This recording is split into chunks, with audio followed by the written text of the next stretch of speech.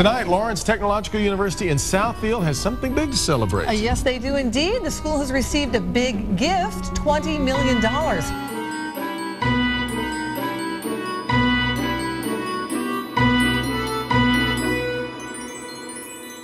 At this special time of the year, we look back on the great strides we have made together and anticipate our exciting plan for the future.